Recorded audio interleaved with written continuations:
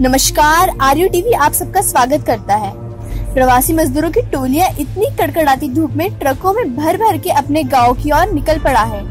एक तो उनके पास भोजन की व्यवस्था नहीं और अब लॉकडाउन की स्थिति में राहों में भी कोई दुकान और ठेले नहीं और अगर दुकान मिल भी जाए तो उनकी जेबों में इतने पैसे नहीं, जिससे कि वो ऐसे ही भूखे पैसे बस अपने घरों को पहुँचने की खुशी के साथ अपने यारों संग निकल पड़े हैं। पर जिनके अंदर इंसानियत है, उनको ये सब देखा नहीं जाता। बड़े खुशी की बात है कि इन मजदूरों की सहायता के लिए देश भर के अमर ग्लोबल टीम के कार्यकर्ता हाईवे पर उतर आए हैं। ये तस्वीर आप देख रहे हैं मध्य प्रदेश की शिवपुरी की है जहाँ आचार्य सुभद्रानंद अवधूत जी अन्य कुछ अमर ग्लोबल के कार्यकर्ताओं के साथ शिवपुरी नेशनल हाईवे पर ट्रकों में अपने गाँव की ओर लौट रहे प्रवासी मजदूरों को पुलाव के पैकेट्स, बिस्किट के पैकेट्स एवं पानी बोतल्स का वितरण किए राजधानी शहर भोपाल में भी लगातार आचार्य धीरजानंद अवधूत जी एवं अमर ग्लोबल के अन्य कार्यकर्ताओं द्वारा प्रवासी मजदूरों के लिए भोजन वितरित का कार्य चल ही रहा है। हबीबगंज और भोपाल रेलवे स्टेशन पर दिल्ली मुंबई और चेन्नई से आ रही ट्रेनों में यात्रा कर रहे प्रवासियों के लिए प्रतिदिन 500 भोजन के पैकेट वितरित किए जाते हैं। मध्य प्रदेश के सिंगरौली में भी पिछले सात दिनों से लगातार हाईवे पर पैदल और ट्रकों में अपने घरों को वापस लौट रहे प्रवासी मजदूरों को भोजन कराया जा रहा है, तथा उनकी ज़रूरत की वस्तुएँ जैसे चप्पल, गमछा और रास्ते के लिए भोजन पैकेट्स और पानी बोतल भी प्रदान किए जा रहे हैं।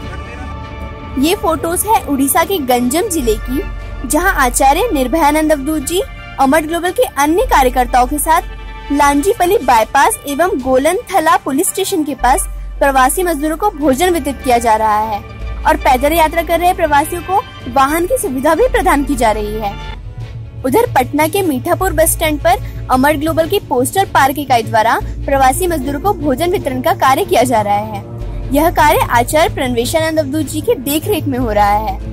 भभुआ भुक्ति के मोहनिया से श्री अखिलेश जी एवं उनका परिवार भी प्रवासी मजदूरों के लिए बिरयानी बनवाकर उसके पैकेट्स एवं बिस्कुट और पानी पाउच भी वितरित किए जा रहे हैं। दिनांक 18 मई को लगभग 2000 लोग लाभान्वित हुए। आनंद मार्ग आश्रम बरेज मोहनिया में भी मुख्य प्रधान श्री तापस जी एवं अन्य कार्यकर्ताओं द्वारा भी ट्रकों में अपने घर लौट रहे प्रवासियों को फल एवं भोजन वितरण का कार्य चल ही रहा है।